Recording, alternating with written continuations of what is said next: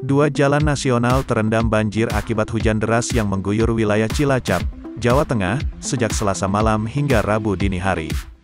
Video amatir di jalur Cilacap menuju ke Pengandaran, yang tergenang air setinggi sekitar 1 meter dan jalan nasional di wilayah Kecamatan Jeruk Legi dengan ketinggian air berkisar antara 30 hingga 50 cm.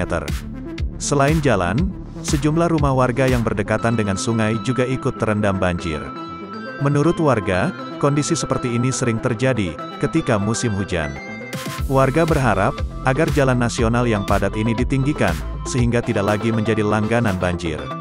Sebelumnya, Badan Meteorologi Klimatologi dan Geofisika, BMKG, memprediksi adanya potensi cuaca ekstrim di sebagian wilayah Indonesia hingga tanggal 23 Juli mendatang.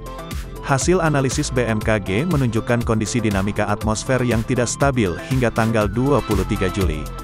Deputi Bidang Meteorologi BMKG, Guswanto, menyatakan kondisi ini bisa meningkatkan potensi cuaca ekstrim dan curah hujan dengan intensitas sedang lebat yang bisa disertai kilat, petir dan angin kencang mulai hari ini, tanggal 21 Juli tahun 2021.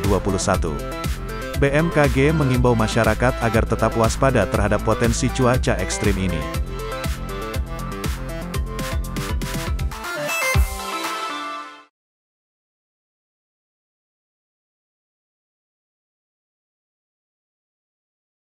Seorang remaja di Kabupaten Kediri hilang tenggelam di Sungai Berantas.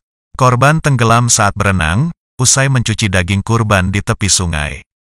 Tim Basarnas dan BPBD ini melakukan upaya pencarian seorang remaja yang tenggelam di Sungai Berantas, Kecamatan Mojo, Kabupaten Kediri. Korban dilaporkan tenggelam saat berenang usai mencuci daging kurban di tepi sungai.